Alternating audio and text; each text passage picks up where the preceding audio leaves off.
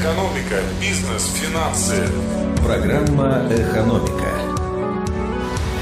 Микрофона Ольга Болезина. Здравствуйте. Кировские заводы представили свою продукцию на авиасалоне «Макс». Три предприятия стали участниками авиасалона в подмосковном Жуковском. Завод «Лепси» представил ряд двигателей для промышленности, изделия для производства полностью электрических самолетов, научные разработки, а также изделия для железнодорожной техники, медицинское оборудование, изделия для проекта ледокола «Лидер». Авитек привез на «Макс» образцы кресел для пилотов, машинистов, грузоподъемных электронные системы. Изделия компании «Электропривод» представлены в павильоне «Технодинамика» в мультимедийной экспозиции с элементами виртуальной реальности. На МАКС отправился также губернатор. Игорь Васильев планирует провести переговоры с Минпромторгом, в том числе возможности участия кировских предприятий в выпуске нового российского самолета «Байкал». Программа «Экономика».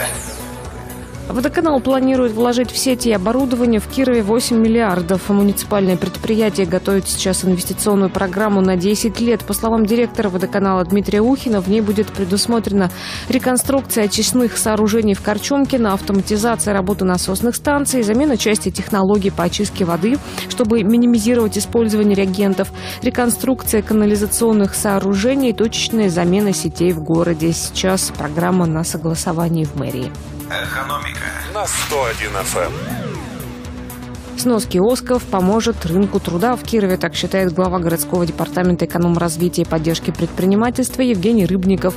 На слушаниях по поводу реформы НТО он заявил, что приведение киосков к единым стандартам позволит улучшить внешний вид города, снизит преступность и создаст заказы для малого и среднего предпринимательства по изготовлению конструкции киосков, что позволит сохранить от 500 до 1000 рабочих мест и бюджету принесет 10 миллионов рублей. Об этом пишут бизнес-новости в Кирове.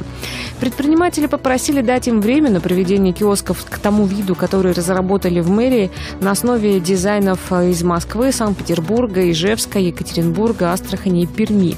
Также бизнес просит денег, субсидий или льготных кредитов на новые павильоны, каждый из которых может обойтись в сумму около миллиона рублей.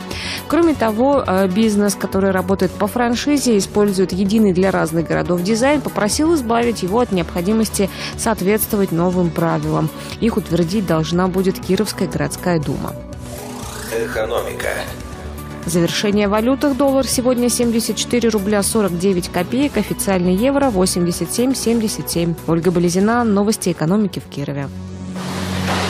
Программа «Экономика» на 101 FM.